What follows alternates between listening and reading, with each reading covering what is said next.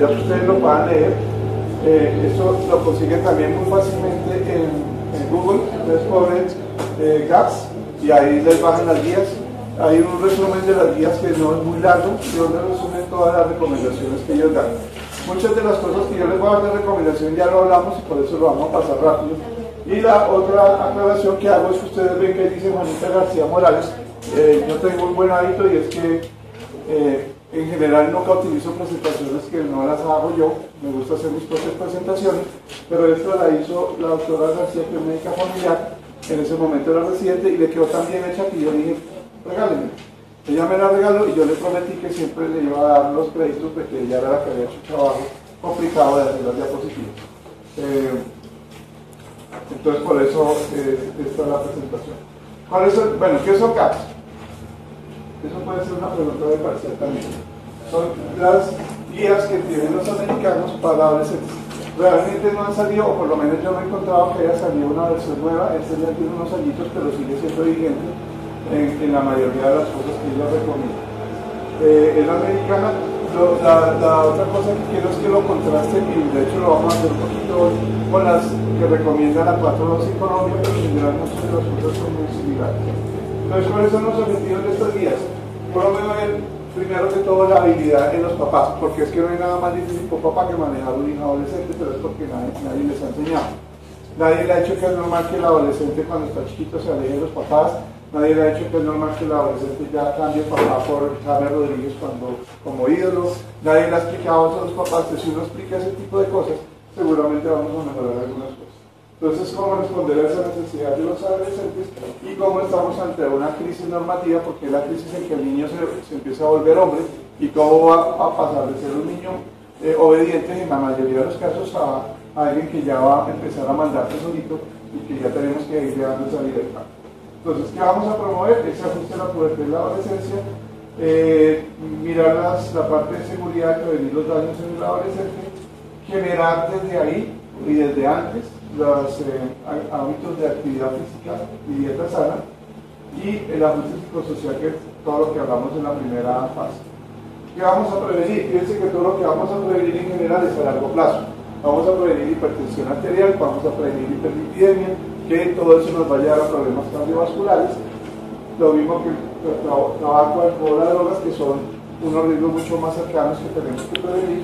El abuso, bueno, la depresión, Recuerden que la mayoría de suicidios, la edad donde el pico de suicidio más alto es en la adolescencia. Entonces ahí es donde tenemos que estar más pendientes. El abuso físico emocional, prevención de crisis y problemas de aprendizaje. Esta es una carta, no, no es para que nos la aprendamos ahora, pero básicamente esta carta nos dice cada cuánto debemos ver a un adolescente qué exámenes tenemos que pedirle. Ya lo voy a, a, un poquito, por eso no voy a detener acá. En general, recomendación debemos hacer una adolescente por lo menos una vez al año de chequeo. Y ahí aplicamos todo eso que estábamos hablando ahorita. Obviamente si detectamos alguna dificultad, pues vamos a hacer un chequeo mucho más importante. Fíjense que todo lo que dicen aquí que tenemos que hacer tamizaje es todo lo que hablamos en el Ahí está resumido prácticamente todo. Ya vienen algunas cuestiones de tamizaje que ya lo vamos a mirar. Esta es la vacunación. Básicamente la vacunación en el adolescente que es importante poner los refuerzos de DPT. Acuérdense que la parte de pertosis la ponemos con el a celular para evitarnos. ¿Cuál es la complicación que puede haber con la pertosis no a celular? Muy bien, encefalitis. ¿Sí? Si yo le pongo a un niño mayor de 7 años vacuna que contenga la pertosis, si no es el celular, hay un riesgo de que pueda desarrollar encefalitis. Por eso mayores de, en general de 5 años siempre que yo ponga EPT y las, las embarazadas que las está colocando también, se debe colocar por lo menos una dosis de EPT, pero siempre con el celular. Eh, las del papiloma humano, ustedes saben, en Colombia lo colocamos hacia los 9 años. Eh, y eh, los demás es básicamente, si no los tienen, hay que actualizarlos. Hepatitis A, hepatitis B, si no los tienen, se pueden actualizar. Probablemente en Colombia eh, la hepatitis no está incluida entre las recomendaciones del adolescente y la mayoría de los niños ya van a empezar a tener. Y mm, bueno, la triple, la triple viral si la tenemos que colocar, el momento ideal es colocarlo eh, en las mujeres inmediatamente después del parto, después del aborto, porque vamos a tener complicaciones de colocarlo en el Listo, ¿qué recomendaciones?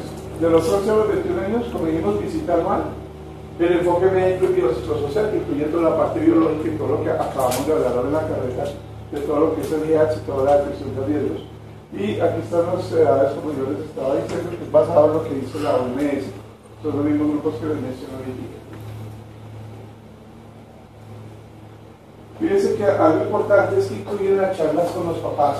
O sea, sobre todo en la, primera, en la adolescencia temprana, debemos incluir a los papás porque todavía no son un poquito niños, entonces todavía tenemos que enseñarle a los papás para que ellos promocionen en sus hijos este tipo de actividades.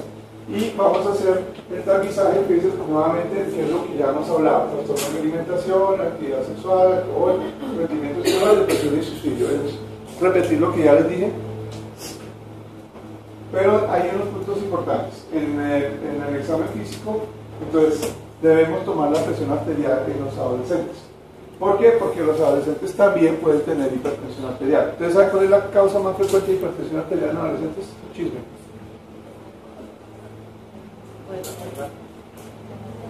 Estenosis de la arteria renal. ¿Alguna otra idea? Obesidad. Pero la obesidad per se se asocia a hipertensión, pero digamos que no es causa directa, pero puede. Pero dentro de las causas pero el chisme es que en los adolescentes la primera causa es la hipertensión esencial, igual que los adultos. Pero la proporción de hipertensión secundaria es mucho más alta que en un adulto maduro, un adulto en general. Entonces, de todas formas, siempre que hay un, paciente adolescente con hipertensión, tenemos que descartar que tenga una hipertensión secundaria. Pero aún en ellos sigue siendo eh, la hipertensión esencial la causa más frecuente. En el único grupo definitivamente primero en la secundaria es en los niños pero en las demás etapas siempre va a ser esencial, pero con menos proporción.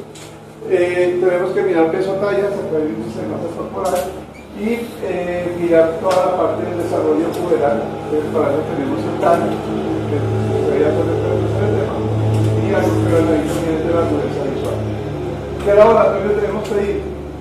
Depende, en general el adolescente como es una persona muy sana y solamente si tiene factores de riesgo lo deberíamos pedir. Entonces dicen que ellos piden colesterol si tiene antecedente familiar o riesgo cardiovascular personal. Si no lo tienen, no es necesario. Las mamás siempre llegan pidiendo el perfil lipídico y la glicemia y en general no se deben solicitar a menos que realmente haya eso. ¿Qué otras pruebas? La tuberculina, si hay factores de riesgo para tuberculosis. La citología, eh, ya las vías colombianas también están cambiando, pero en adolescentes y en adultos jóvenes sigue siendo el esquema 113 lo que debemos hacer y eh, cuál es la idea, que si antes de los 21 años empezaron la vida sexual, podemos esperar hasta los 3 años para empezar a hacer la citología. Es decir, si empezó relaciones a los 16 años, yo puedo esperar hasta los 19 para empezar a tener, a, solicitar la citología. Si ya empezó a los 21 años, pues arranco de una vez hacer el 113 hasta los 30 años, que es cuando ya el esquema nos cambia, ya viene lo de la medición del virus de papiloma y demás. Eh, y si es un paciente que está sexualmente activo, esto es lo que dicen los libros, nosotros no podemos aplicar todo eso, o lo que es eh, clamidia y gonococo, nosotros no lo medimos de rutina, ellos sí, pero sí podemos estar haciendo pruebas de serología, eh, virus del papiloma, que ya cada vez va a estar más disponible, y a la herpes tampoco hacemos pruebas, además la parte clínica, pero el VIH sí es importante que hagamos consejería y que le solicitemos a los adolescentes. Recuerden que el riesgo para VIH hoy en día es tener eh, relaciones sexuales. Eso ya es suficiente riesgo y nos habilita para poder regresar. Eh, los servicios, esa es la tarea que ustedes van a tener. Entonces, ¿cómo funciona básicamente un, sistema o un eh, servicio amigable para los adolescentes? Todo esto va incluido ahí. Eh, lo que tenemos que hacer es consejería, que ya lo hablamos en la primera parte. Las recomendaciones también que ya hablamos, cómo prevenir lesiones, la parte de seguridad, la parte del ejercicio. En Colombia esto que sí que es importante. Eh, tenemos que enseñarle a nuestros adolescentes a resolver las cosas sin pelear, que es algo que en Colombia durante 50 años no nos han enseñado a hacer. Entonces tenemos que aprender a hacer eso. La dieta saludable, todo lo que hablamos también de la parte de sexualidad, eso les digo, se los paso rápido para no aburrirlos porque ya lo hablamos, pero la idea es que lo puedan leer en la vida. Esto es importante, para hacer el diagnóstico de hipertensión arterial, yo eh, aparece que en el adolescente no es 140, 90 como en el adulto, de pronto el que tiene 19 o 20 años sí, pero en general ustedes conocen que hay unas tablas donde nos van mostrando los percentiles. Entonces en general, cuando el tres toman diferentes, yo tengo un paciente con un percentil más de 90, ese paciente yo tengo que seguirlo monitoreando y si ese monitoreo me arroja que sigue con problemas de tensión alta, voy a decir que tiene hipertensión. Y ahí entonces empiezo a hacer todo el, el eh, el manejo que tengo que hacer de hipertensión en este paciente. ¿Cómo hago para la dislipidemia? Lo que habíamos dicho. Si el paciente tiene factores de riesgo, le pido un colesterol total. Si ustedes miren la guía colombiana, dice pide un HDL. Eh, en la práctica pedimos perfil lipídico completo que hoy en día está disponible, o como ustedes ya lo aprendieron a hacer, pedimos colesterol total HDL triglicéridos y calculamos el LDL. Pero ellos recomiendan esto, eh, pero básicamente es pedirle colesterol, el perfil lipídico, perdón, si tiene factores de riesgo. Si no, no es necesario pedirle ningún perfil lipídico. Eh, estos son los valores que de pronto esto se ha ido cambiando con las últimas guías, entonces nos vamos a tratar. Importante en los trastornos alimentarios, básicamente de línea, lo que ya también dijimos, mirarse en distorsión de la imagen corporal, ver si el paciente ha perdido peso por las dietas que está haciendo, si tiene dietas sin sobrepeso, si tiene la análisis autoinducida, se puede cuál de las dos, la Bolivia, muy bien, o se utiliza laxantes o diuréticos también para bajar de peso, que también lo podemos encontrar. Ya viéndolos para el otro lado, cuando hay sobrepeso y riesgo cardiovascular, entonces cuando el IMS que también hay tablas, de ahorita tenemos los percentiles de la, de la OMS que son ya no tanto en percentil sino en, en desviaciones estándar, entonces también si nos da para sobrepeso, pues vamos a empezar a trabajar la parte de dieta y ejercicio. Eh, y si nos da solamente para riesgo de sobrepeso, pero que aún no lo tiene, entonces ya vamos a empezar a, mirar los otros riesgos para empezar a hacer una intervención en estos pacientes. Si encuentra pacientes que tengan consumo de drogas, lo ideal es buscar apoyo porque no es muy fácil, eh, sobre todo si hay una dependencia grave entonces hay que manejar con psicología, en algunos casos con psiquiatría y con un equipo interdisciplinario. Doctor, ¿cómo se maneja la confidencialidad cuando les interesa o no que está embarazado que está consumiendo drogas? Eh, es bien complicado, pero hay formas de que, en general, el, el, caso de la niña que está embarazada, que dice mi papá me va a echar de la casa, eh, lo que nosotros hacemos es eh, hablar con la niña le ofrecemos, o sea, le decimos que sí, o sea, tarde o temprano se van a enterar. Es mejor que se enteren temprano que tarde. Y lo que le ofrecemos es que ella misma le cuente a los papás, o él mismo le cuente a los papás el problema, y ofrecemos que nosotros actuamos como intermediarios. Entonces venga con su papá, usted le va a contar, yo voy a estar ahí pendiente por si su papá tiene una reacción. Y pues igual uno sabe que papá al principio pues, se va a poner un poquito molesto. Pueden tener muchos, muchas, muchas reacciones diferentes, pero le da la tranquilidad de que nosotros estemos ahí, porque digamos que lo autorizamos un poquito la reacción y en general en la mayoría de los casos pues obviamente viene un shock y viene la cosa, pero al final los papás aceptan y apoyan a la, a la, persona.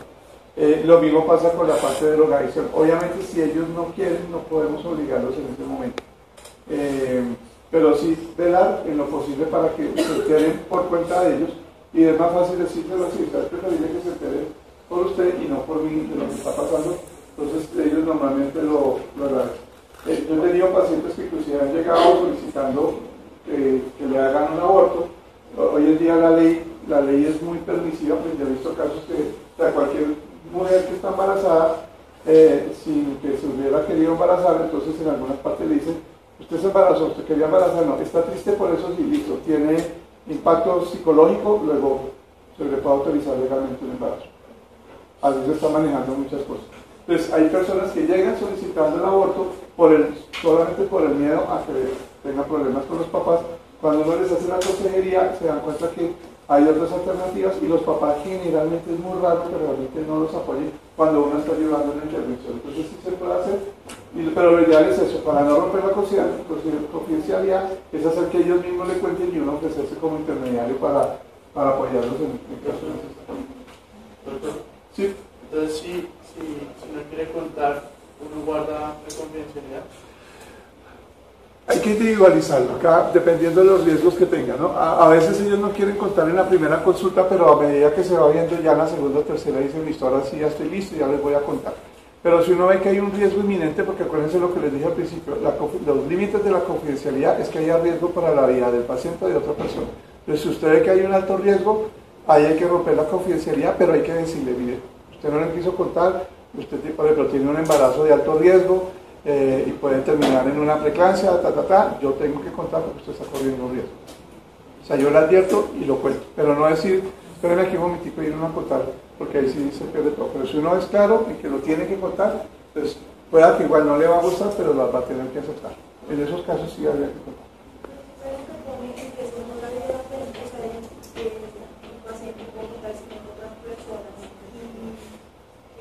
y se puede mantener en secreto, por ejemplo, EPS o, o VIH, uno tiene que decirle a los papás. Ahora es una pregunta muy difícil. Eh, pues básicamente si se cumple esa premisa de que hay riesgo para la vida de esa persona, sí hay que contar. Hay que contar.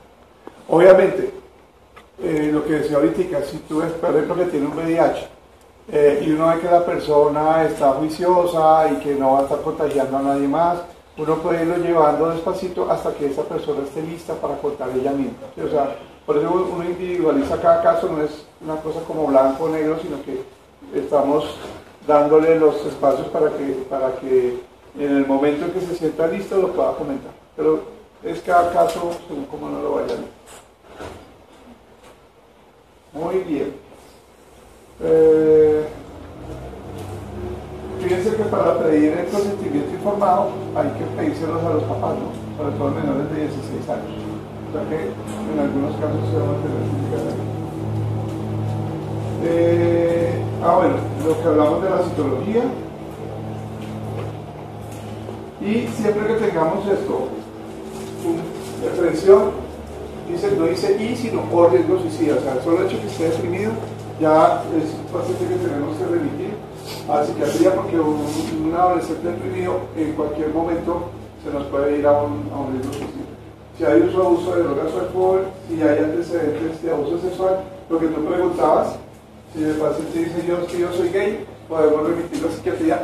Ojo, no para que lo cure la homosexualidad, o sea, es para que lo oriente eh, y diga si realmente el paciente tiene la tendencia o estaba confundido simplemente. Eh, y si tiene bajo rendimiento escolar, pues también psiquiatría dependiendo de lo que encontremos. Si tiene bajo rendimiento escolar porque tiene una dislexia, pues de pronto tenemos que mandarlos a trabajar. Y los problemas de aprendizaje, pues es básicamente revisar todas estas cosas, si hay enfermedades, pues lo mismo que estamos mirando. Si es que el niño es indisciplinado, pues probablemente va a necesitar pautas para la familia, va a necesitar un apoyo de psicología, pero si es porque ha tenido una enfermedad crónica y no ha podido ir al colegio, pues el manejo va a ser completamente diferente. Mirar esa disfunción familiar y en nuestra comunidad es muy común encontrar deserción escolar, entonces hay que estar muy pendiente también de ese tipo de cosas. Entonces, más rápido como les prometí. El doctor, él, estaba estudiante de 11 cuando tomamos esta foto, ya ahorita se presentó para residencia de medicina familiar, entonces yo creo que arranca.